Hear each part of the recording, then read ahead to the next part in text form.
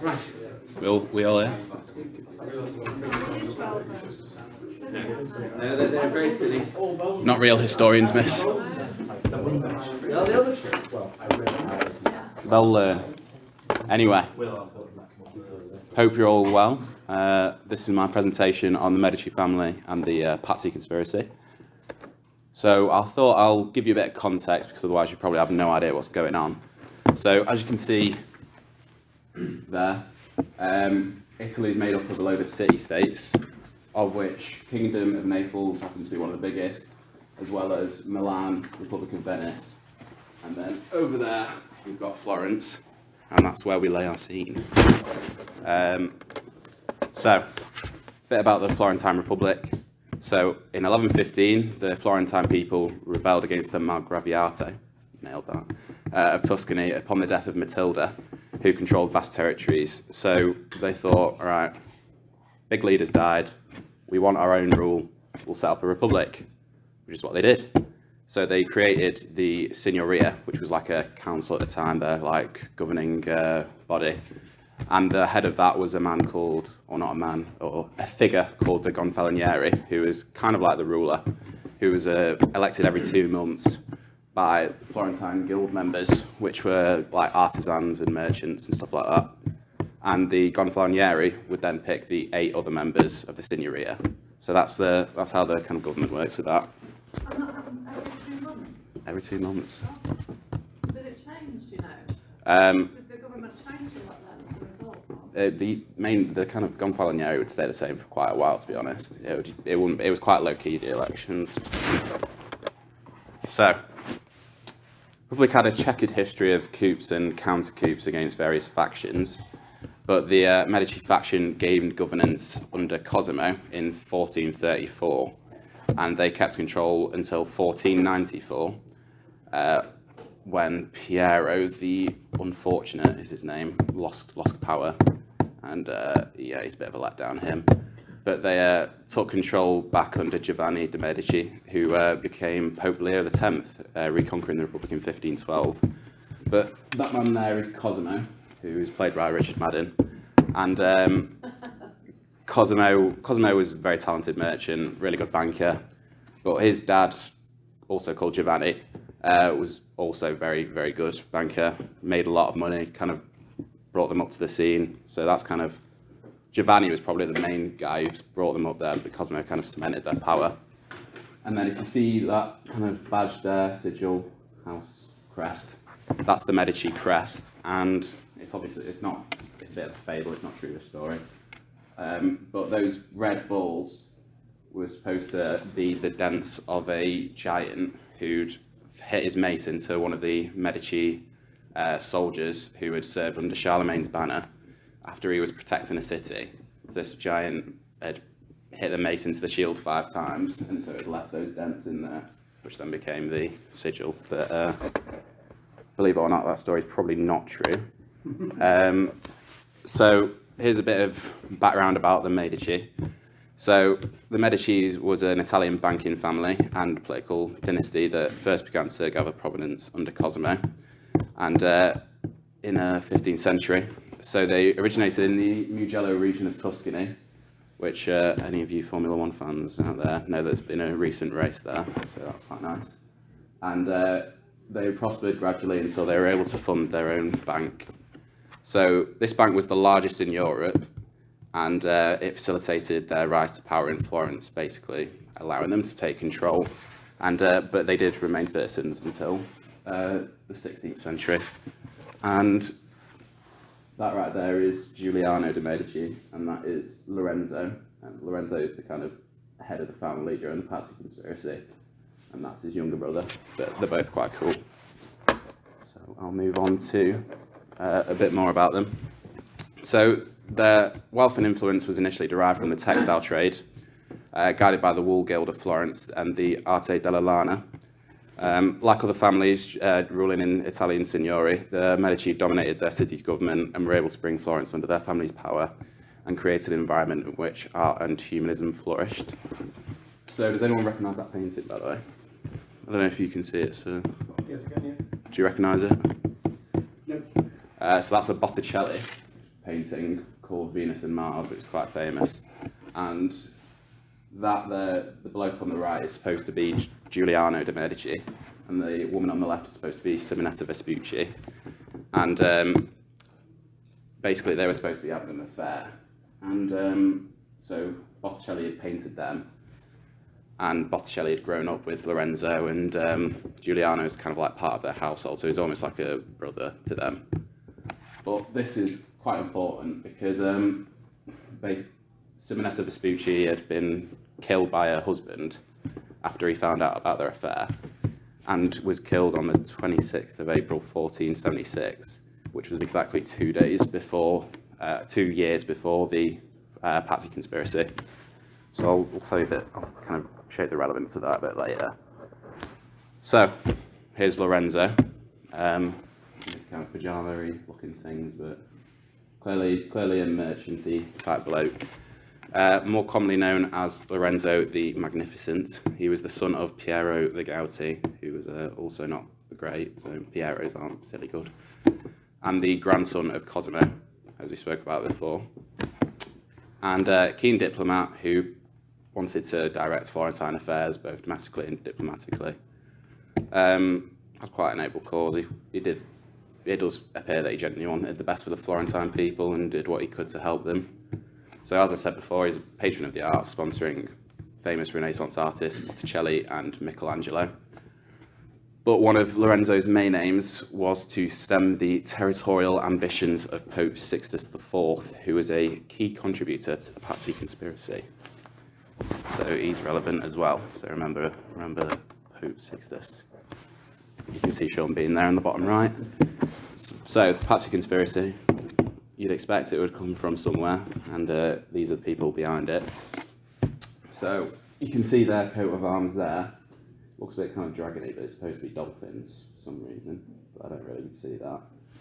And they were also a banking family from Florence, who uh, were rivals to the Medici, and um, the family was headed up by Jacopo, him in uh, in the Medici series, and um, he was also a banker who was extremely bitter and envious of Lorenzo and the Medici's power, and he was he really wanted it for himself.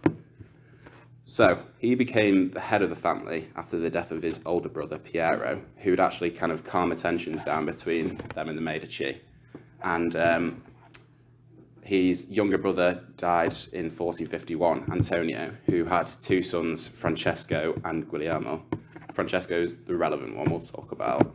Um, but Francesco had actually grown up as best mates with um, Lorenzo. They were really close. So it's quite sad what how that kind of went wrong, basically. And um, but actually, Francesco kind of rekindled their friendship uh, in later life, and um, he was actually the godfather of Lorenzo's son Piero with uh, Clarice Orsini, who's from another noble uh, background. So that's Francesco. But um, Jacopo vowed to do everything in his power to undermine the Medici and take control from them, and uh, this led to the Pazzi conspiracy in 1478. So, I'm not going to read all of that, but the Pazzi conspiracy uh, wasn't just a plot by the members of the Pazzi family, but also the Salviati, uh, Pope Sixtus IV, uh, the Riarios, and the Della Roveres. Um, Salviati was important, Francesco Salviati. He was one of the cousins of the Pazzis, and he was actually an archbishop and one of um, Pope Sixtus's senior advisors. So he was constantly in his ear, trying to trying to um, influence him. But Cosimo, um, uh, Lorenzo's granddad, had um, secured the Medici Bank as the papal bank, which was very prestigious at the time. I mean, pe- people would literally kill for that at that time. That kind of cemented your power, basically. Um, so the Pazzi wanted to do what they could to try and take that from them. So what had happened was Lorenzo had set up a trade route with Venice uh, for Florence um, to kind of prosper. Uh, they got a lot of their food from Venice. But um, Francesco della Rovere, who was elected pope in 1471, who became Sixtus IV, wasn't actually from a particularly high up noble background. His, uh, his kind of family wasn't that rich.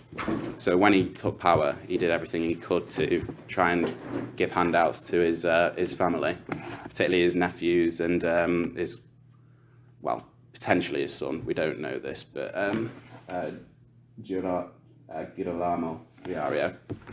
Um, so yeah, he tried to give them uh, like, kind of make them titles such as uh, bishops and uh, cardinals, and um, made uh, Giovanni uh, priest despite not being prefect, uh, despite not made Giovanni prefect of Rome despite not being a priest.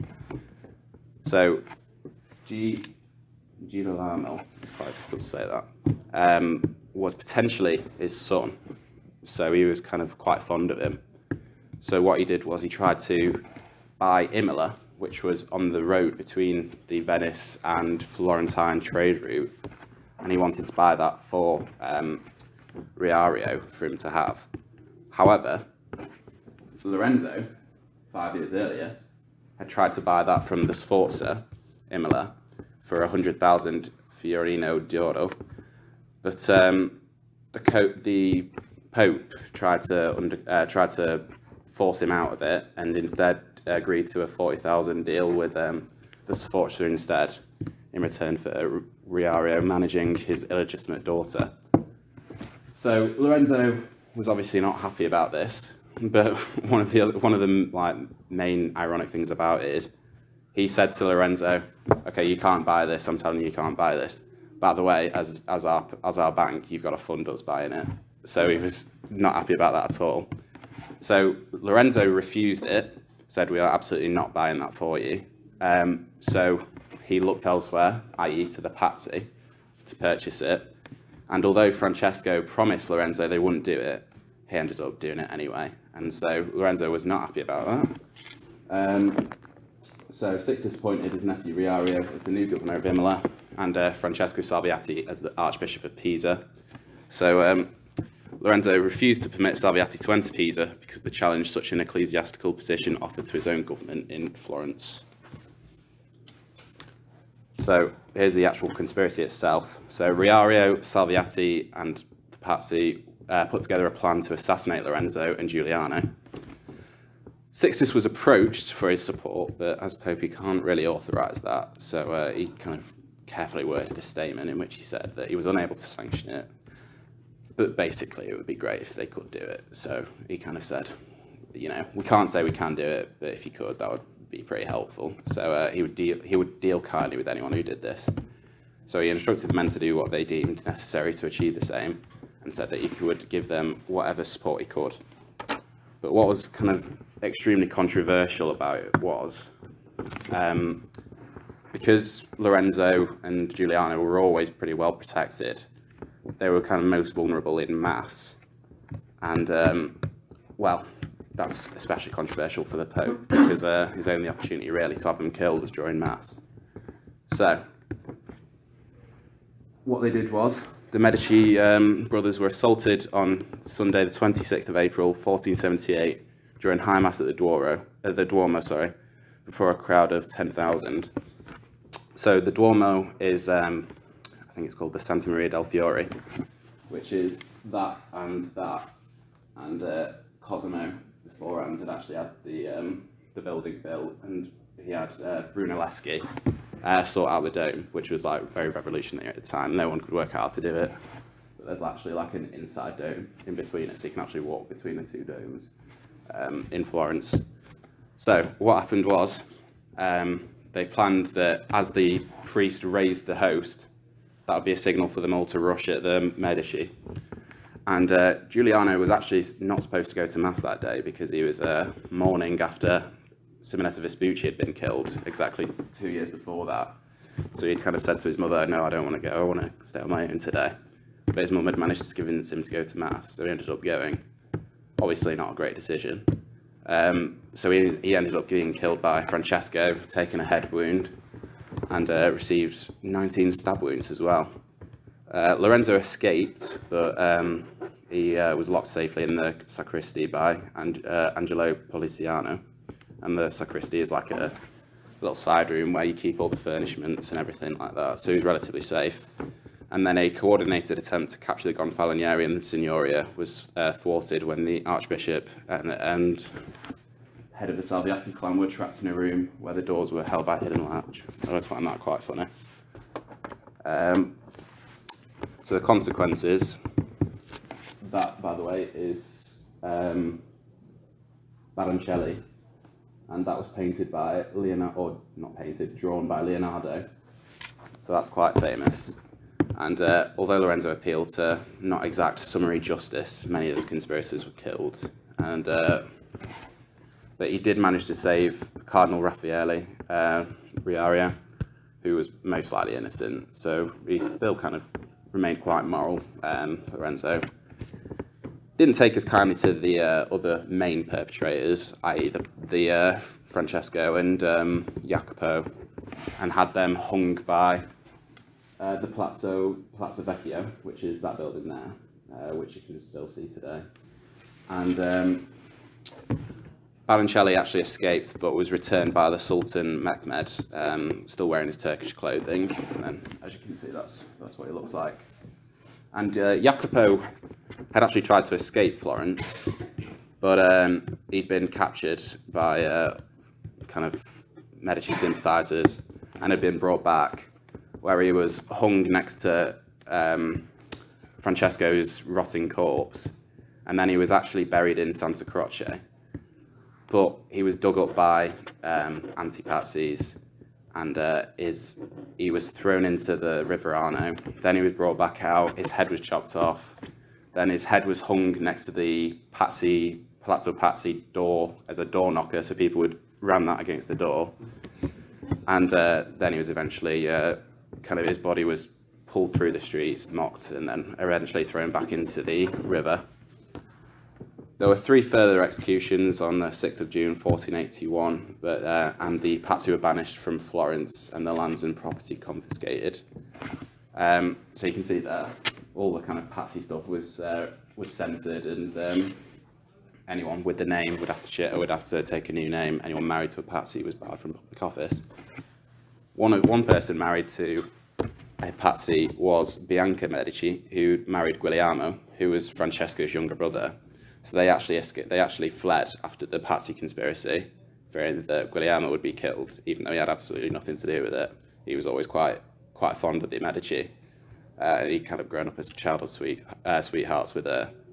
Uh, so they had to they had to go and live at uh, Torre a Decima near uh, Ponticello. So the aftermath of, of it was that the um, they can, it basically convinced supporters of Medici that a greater concentration of power was desirable and uh, they had faith in Lorenzo and wanted to strengthen his position. He demonstrated that he'd had an ability in conducting foreign affairs for the city and it emboldened the Medici in their position of carrying out new reforms. Um, I'm not going to cover it now, um, but after, after the Pazzi conspiracy, uh, because Salviati was hung, um, the Pope actually excommunicated Florence um, because of that for hanging an archbishop.